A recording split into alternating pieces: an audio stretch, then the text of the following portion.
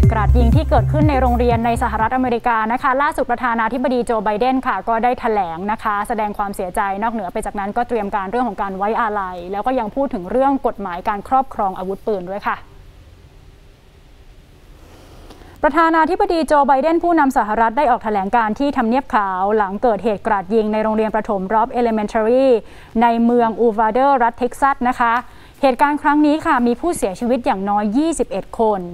เขาถแถลงด้วยท่าทีที่ทุกข์ใจและเจ็บแค้นอย่างเห็นได้ชัด โดยมีนางจิลไบเดน สุภาพสตรีหมายเลขหนึ่งยืนอยู่เคียงข้างค่ะ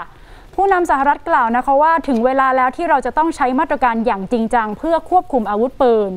นี่เป็นเวลาที่เราจะพลิกสถานการณ์อันเจ็บปวดครั้งนี้ ให้เป็นแรงผลักดันในการบังคับใช้กฎหมายควบคุมอาวุธปืนต่อไปโดยเขากล่าวประนามบรรดาผู้ผลิตอาวุธปืนนะคะว่า บริษัทเหล่านี้ผลิตอาวุธทำลายล้างจำนวนมากเป็นเวลานานกว่า 20 ปี ทำกำไรอย่างมหาศาล ก่อนที่สุดท้ายเขาจะกล่าวแสดงความเสียใจต่อหลายชีวิตค่ะ ที่ต้องจากไปจากเหตุกราดยิงในโรงเรียนประถมครั้งล่าสุดนี้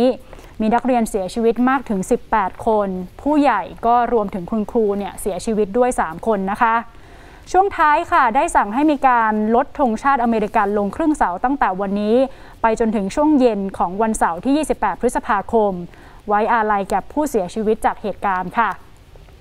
สำหรับเหตุกราดยิงครั้งนี้นะคะนายเกรกแอปบอดผู้ว่าการรัฐเท็กซัสบอกค่ะว่าคนร้ายที่ก่อเหตุชื่อว่าซาลวาดอร์รามอสถูกเจ้าหน้าที่ตำรวจยิงเสียชีวิต แล้วก็มีรายงานว่านายรามอสได้ใช้ปืนเนี่ยยิงยายของตัวเองจนเสียชีวิต ก่อนที่จะมุ่งหน้ามาก่อเหตุนะคะ เจ้าหน้าที่ตำรวจกล่าวค่ะว่าขณะนี้ยังไม่ทราบแรงจูงใจในการก่อเหตุของคนร้ายค่ะซึ่งเหตุกราดยิงครั้งนี้ถือเป็นเหตุความรุนแรงจากอาวุธปืน ที่ทำให้มีผู้เสียชีวิตมากที่สุดครั้งหนึ่งของสหรัฐ ซึ่งสื่อในสหรัฐก็รายงานนะคะว่าเฉพาะปีนี้มีเหตุกราดยิงเกิดขึ้นในสหรัฐแล้วถึง 215 ครั้งเลยค่ะ